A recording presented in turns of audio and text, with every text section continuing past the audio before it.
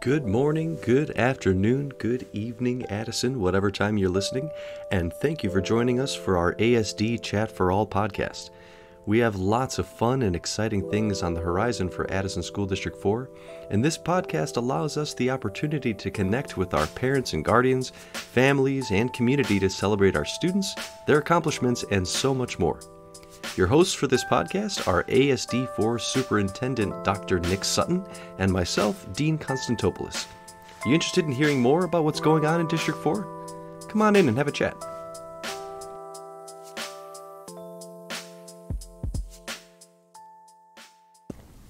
Good afternoon, everyone, and thank you again for joining us for another episode of our ASD Chat for All podcast.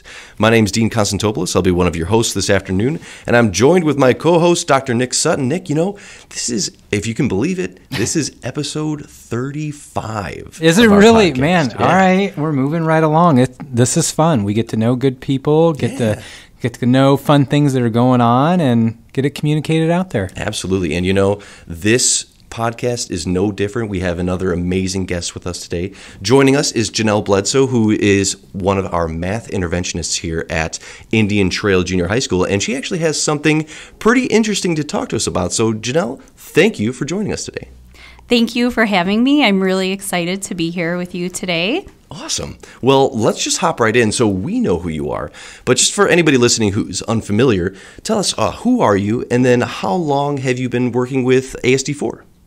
Uh, well, as Dean said, my name is Janelle Bledsoe, and I have been with Addison District 4 for 17 years. I started here right out of college, and I was hi- originally hired as a sixth and eighth grade math teacher. So I taught math, regular math, for 12 years.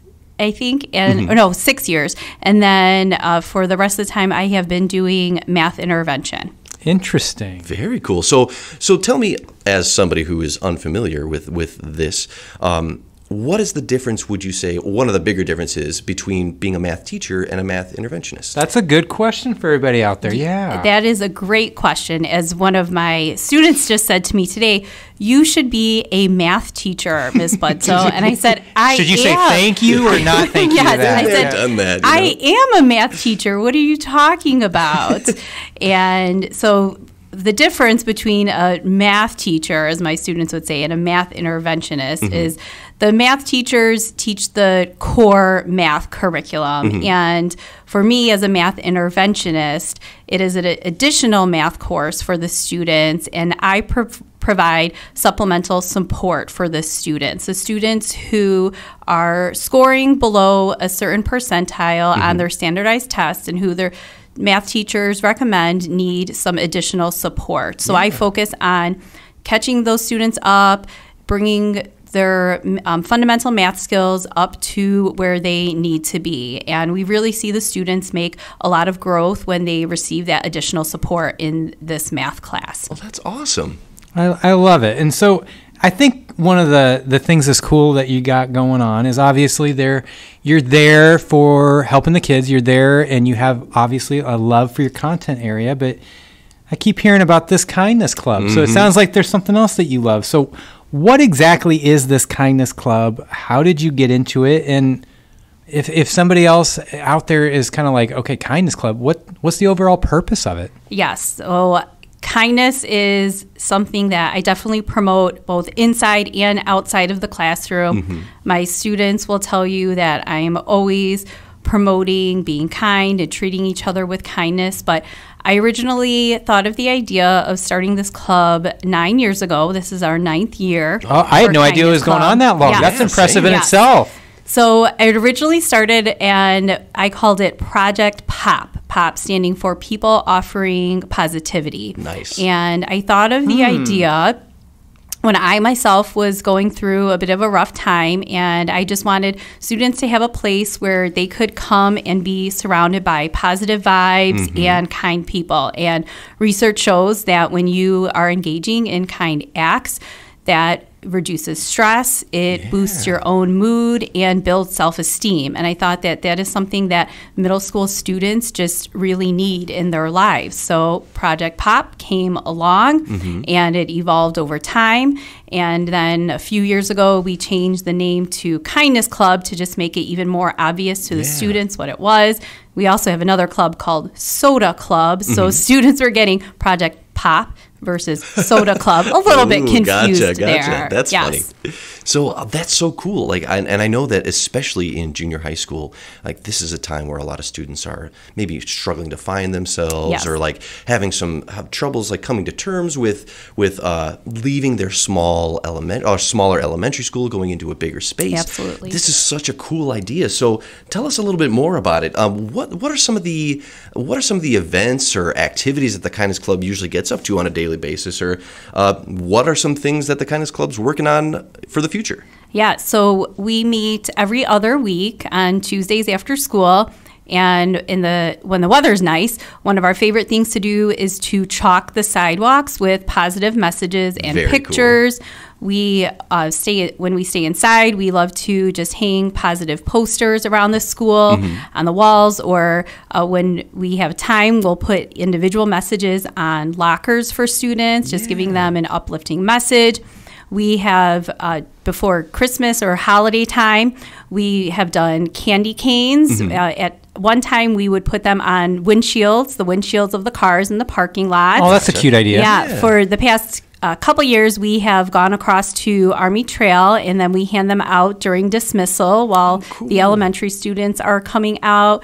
We've taken field trips to Feed My Starving Children. Oh, we wow. have done some really fun fundraisers and then donated the money to the Addison Food Pantry. We've done a duct tape a staff member to the wall and Oh my then gosh. students pay for every piece of duct tape. We've duct taped mr velasco to the wall Oh, I bet that was before. uh, we have done pie a staff member in the face Mm-hmm. to raise money. We uh, and then one of our favorite events is kindness week which we just had a couple weeks ago during february. Okay. so that's just a whole week of events and we do a spirit week with themed spirit days.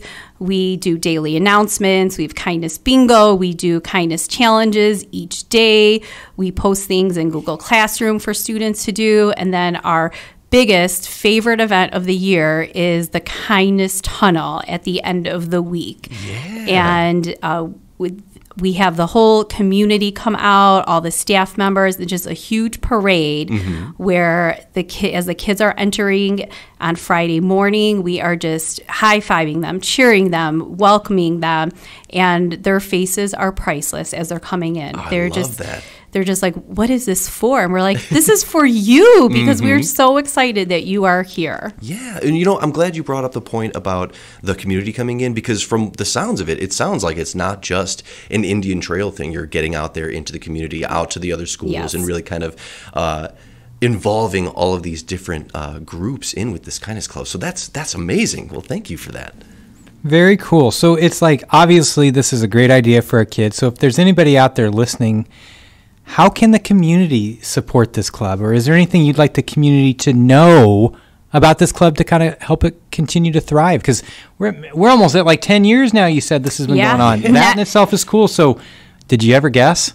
I yeah, so I'm really excited. Next year is our 10th year and we have something big and exciting that we are going to be implementing for next year. It is called the IT Cares Closet and we um, we actually applied for a grant to sell to help us get this um, off and running, but the community can really help us out with this. So, what this will be is a um, closet or space that is filled with toiletries, snacks, some winter clothes items for any student that is in need or maybe in need of these items. And mm-hmm. they'll be able to go to an administrator or our family liaison if they are um, in need of one of these things. And so, what the community can do is donate any of these items that they may have, um, whether it is an individual or a store or a business. They can make donations to drop it off at district office here or to our school at Indian Trail.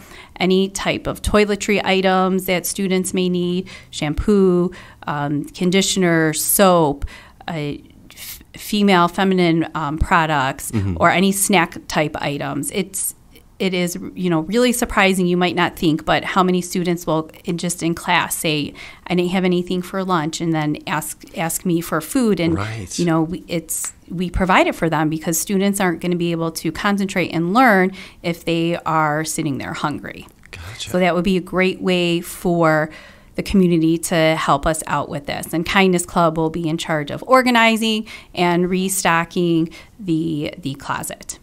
Awesome. Well, that sounds like a fantastic idea. And for the for the community, just keep that in mind. If you'd like to participate in the kindness here, then uh, come and donate. So, Janelle, thank you for uh, taking the time to talk to us about the Kindness Club. Now, if somebody wanted to reach out to you from the community, they want to ask how how they can contribute, how they can uh, support the Kindness Club. Um, what is the best way to get in contact with you?